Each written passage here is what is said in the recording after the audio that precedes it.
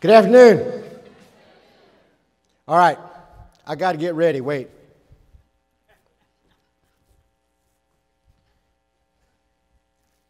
That's all that's coming off. I don't care who you are.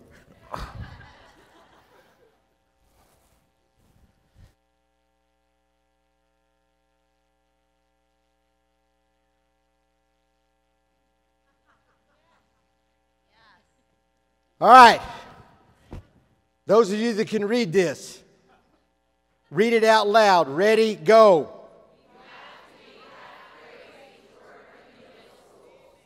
Dot, dot, dot.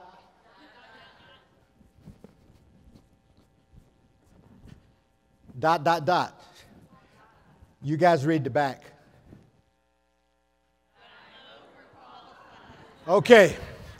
Now that we've established that, um, I want to talk just a minute about the group that I love. This is the beginning of my 49th year in education. If you got more, thank you. All right? Those of you in your 30 years, will you please keep working because the young folks got to pay for your retirement. Uh, middle level kids, I'm going to give you seven seconds. Seven seconds. I want you to think of one word. Middle level students are blank. And then I'm going to tell you to shout out your word. You ready? Here's your seven seconds.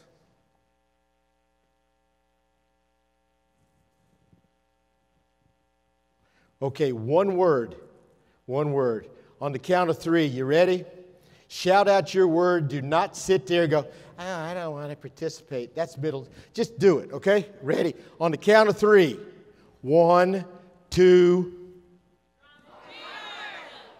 I didn't say three. You must be in middle school. Do it again. One, two, three. Give me a word.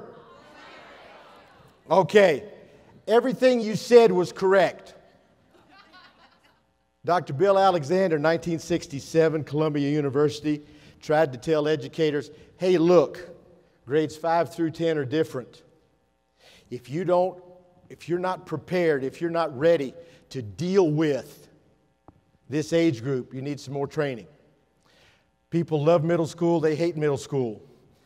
Look up Dr. Bill Alexander because he was the first one that said this is a unique age. If you're middle school, is not taking into account the physical needs of your kids, the social needs of your kids, the emotional needs of your kids, and the intellectual needs of your kids, then you need some more training. All those things go together. Socially, they need to learn together. They need to be with their peers. They need to feel success. They need to have friends. Physically, I hope they bring recess back. I'm 69 years old, going on 70, and I want recess. Okay? That's what I want. We need to feel safe. Now, they'll tell you they don't care about the safety. I'm going to jump off here and land on my head and not hurt myself at all. Not true. They are independent, but they're not independent yet. They are caught between a rock and a hard place. I had a kid tell me one time, You know, coach, I'm just nothing. And I said, What's nothing? And he says, I'm too old for a babysitter and I ain't old enough to date. You high school people, you're setting up ninth grade academies. Why are you doing that? Because the failure rate at the ninth grade is the biggest one. We got to deal with this particular age group. Physically, they need to move around, they need to be actively engaged, they need to be listened to. Give me somebody who's old school. You're over 40. Somebody over 40. Okay, you're not over 40. You are. Okay, you might be. I don't know. I'm not going to judge. You're over 40. Okay. Little, little Davy, little Davy's squirming in the seat, right? You might say, Little Davy, what's the matter? Do you have ants in your pants? No, my coccyx is having a growth spurt. Fastest growing bone in the body. You have physical developments. You need uh, intellectual stuff. Well, they don't know their times tables yet. You need to stimulate them. They're creative. They love group work. They can do all of those things together. Emotionally, they fall in and out of love. Raise your hand if sixth grade was the best year you ever spent in school. Seventh grade? Eighth grade? Then you know what I'm talking about. Schools that want to be highly successful with this group of kids must have the knowledge base. When you talk about emotional stability, you know that it costs more for a 16 year old to get car insurance than it costs for a 65 year old to get car insurance. You know that, right? Why is that? Why is that? Because 16 year olds that drive with peers in the car in different states are doing different things. That's the emotional development. The research says when you're a little kid, the synapses in your brain look like cow paths through a pasture. Y'all got college degrees. You now have synaptic superhighways. You can manage a whole lot of information quickly. Right? And some more research that says the emotional part of your brain absolutely takes over. Throw logic out, out the window. You ask a kid who, who is in trouble, why did you do that? They go, I don't know.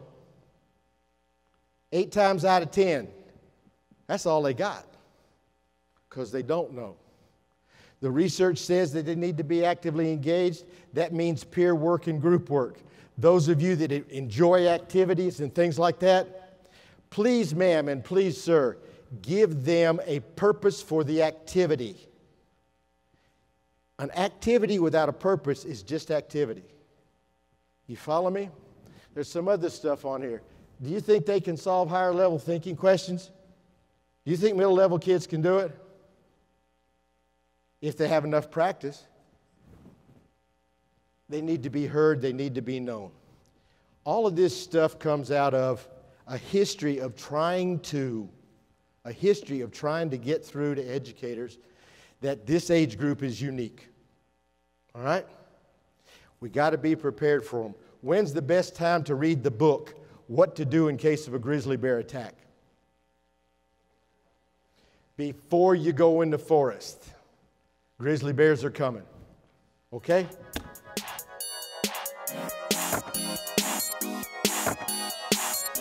Bye.